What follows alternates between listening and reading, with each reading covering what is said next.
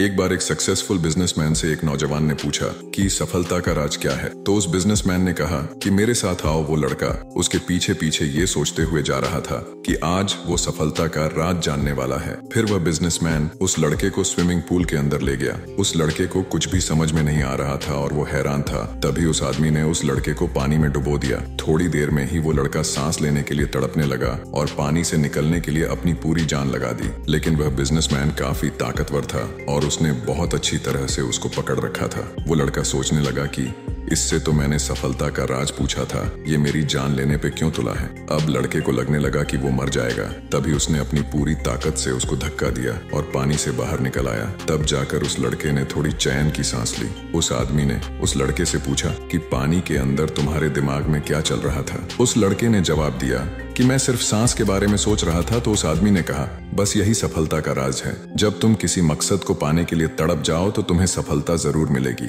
कभी कभी आपने बच्चों को भी देखा होगा कि कैसे किसी चीज़ के लिए पूरे की जान से जुटे रहते हैं। और तब तक रोते रहते हैं, जब तक उसे पा नहीं लेते। हमें भी यही चीज़ बच्चों से सीखनी चाहिए। थोड़े अभ्यास के बाद हम भी छोटी छोटी चीज़ों में सफल होने लगेंगे। जब छोटी छोटी चीज़ों में सफल हो जाएँगे तो एक दिन बड़े मकसद को भी ज़रूर हासिल कर लेंगे। लाखों मील का सफ़र भी एक छोटे से कदम से ही शुरू होता है। बस आगे बढ़ते रहे।